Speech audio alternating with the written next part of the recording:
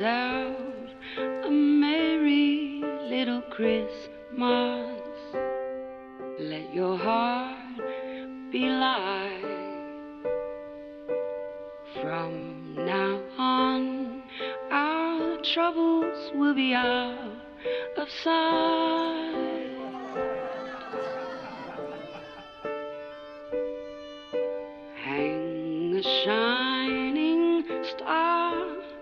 the highest bough and have yourself a merry little Christmas now.